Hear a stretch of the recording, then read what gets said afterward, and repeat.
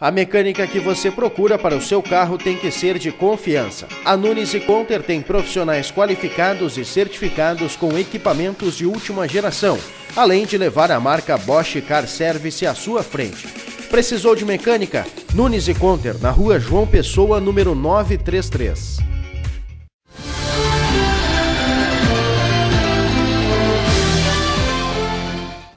Olha, esse ano foi bem reduzido os enxames de abelha que têm aparecido na nossa cidade. Ano passado foi uma coisa bem que absurda, assim. Foi os enxames que apareceram na cidade foi bem excessivo, de dezembro a março. Mas no mês de fevereiro nós tivemos 54 chamados só em abelha dentro da nossa cidade. As causas principais das abelhas estar invadindo as cidades é o desmatamento, é a falta de alimento nas matas, florestas então o que é que acontece? Esses enxames que, que acabam saindo famintos da, das florestas em busca de alimentos, que nem as abelhas, elas estão atrás de açúcares, então elas vêm para as cidades, vêm para as lixeiras procurar doce, pacotinho de, de picolé onde tem açúcar, isso aí causa muitos enxames vindo para nossa cidade. As abelhas, logo que elas vêm atrás de alimento, ela vem com o enxame inteiro. Então o que, é que acontece? Vem a rainha junto, então elas protegem muito o, o, a própria colmeia. Se tu se aproximar, elas podem entender isso como um perigo e acabar atacando a pessoa. Né? O que, que a gente está orientando o pessoal? Ah, assim que esse enxame chegar em sua residência, ligue para os bombeiros, para nós tomar uma medida rápida, porque depois que ela fizer colmeia, tiver uma casa, fica mais difícil a retirada. Né?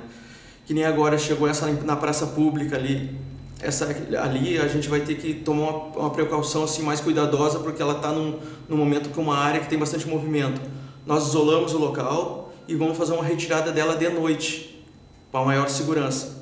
É por isso que eu peço assim, ó, logo que chegar um enxame em sua residência, chame na hora para nós ver o que, que nós podemos fazer. Nós vamos isolar a área e na noite, que é um local que tem um horário que vai que é mais calmo, a gente vai fazer a retirada desses insetos.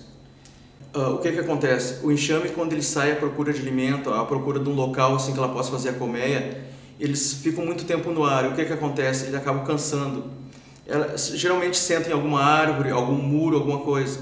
Então nós sempre isolamos o local, damos um tempo, ver se aquele enxame realmente vai sair dali, para não precisar fazer uma retirada brusca, que nem nós fizemos, que temos que molhar o enxame, colocar elas dentro de um saco plástico, para depois levar até um habitat natural, uma mata, uma floresta, que elas possam ali achar um local, um local seguro para fazer uma colmeia.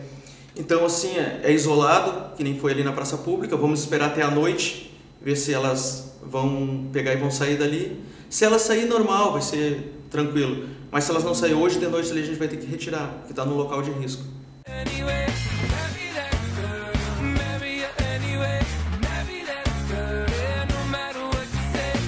Solar, há 19 anos vestindo e fazendo a cabeça da galera.